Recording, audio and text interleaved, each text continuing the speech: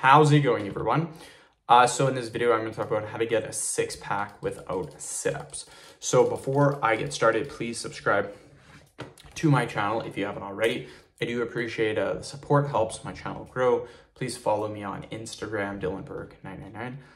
So the thing about abs is on the internet and basically every single forum and a, a, lot of websites and stuff like that literally says abs are made in the kitchen. You will hear that all the time. Abs are made in the kitchen.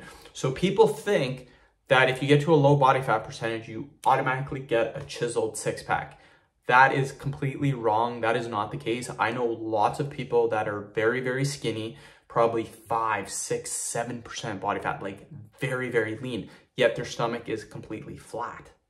Well, if body fat percentage was the only thing, then these people would be absolutely shredded in their abs, but they're not. They have no abs at all, but they're low body fat percentage. Body fat percentage is not the only thing.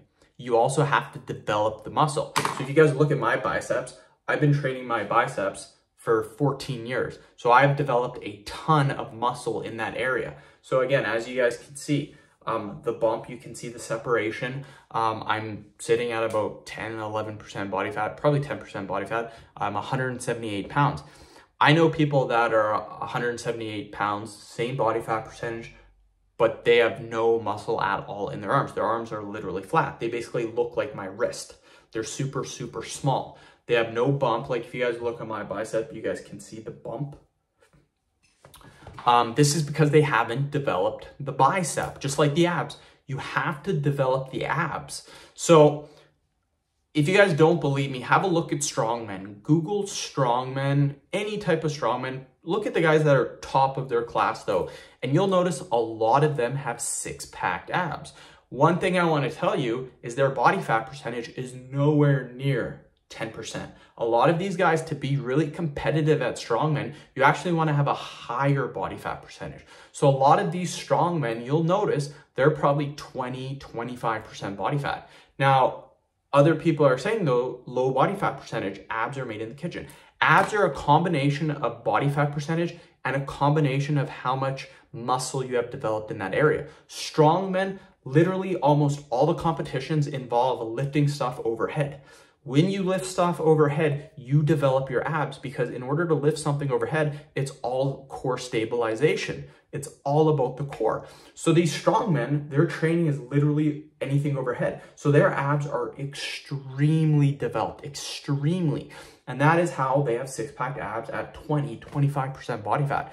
So what you can do is you can get to a low body fat percentage, but you need to combine it with training your abs, typically doing anything that involves weights. That is super, super important. So sit-ups, a body weight movement is not gonna give you the best abs. Training compound movements, squat, deadlifts, overhead pressing. Overhead pressing is amazing for developing abs. When I was powerlifting, I had an insane six pack. You guys can look at my Instagram, dylanberg999, and you can see my abs. My abs were shredded.